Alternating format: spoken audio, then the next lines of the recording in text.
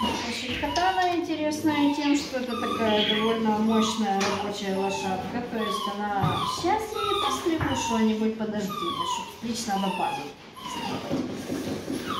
Э, Она очень сильная, то есть... она- Большая сила среза, да?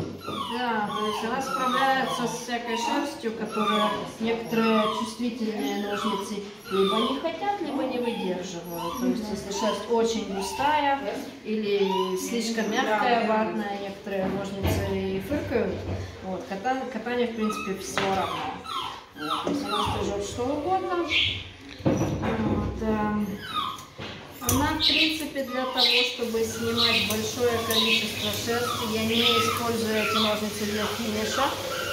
Э, Потому что у тебя есть другие или потому что слишком тяжелые? У меня есть другие, но на самом деле мне просто не нравится, как они делают финиш, они очень тяжелые. То есть обычно этими я снимаю массу, вот, а, и делаю финиш уже чем-нибудь э, более утонченным. Б- Более удобным и более легким. Более легким тоже девятками. Мгм. То есть я любитель длинных ножниц.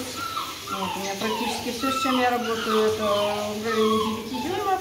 Вот, но для финиша я использую другие. А так, чтобы снять большую массу шерсти, вот, катана отлично справляется. Скажи мне, пожалуйста, учитывая то, что она стоит в районе 300 долларов, и по пятибалльной системе, сколько эти ножницы, э, ну, сколько, сколько бы ты им дала баллов, скажем так, учитывая их довольно дорогую стоимость? Для меня лично. Конечно, конечно. Для меня лично мне 3 с плюсом 4, потому что меня интересует больше финиш, чем масса. Ма- С массой может справиться многое. Но для черных терьеров они будут идеальны, например. Ну, для бешонок мне их немножко не хватает. То есть а- они делают срез не супер красивый, просто вот большой. Вот для финиша другие. Просто для более жесткой шерсти. Но зато они редко требуют заточки. То есть я скажу, я в принципе этими ножницами и грязную шерсть состригала, приходилось просто. Вот, а они выдерживают, держат э, остроту довольно долго.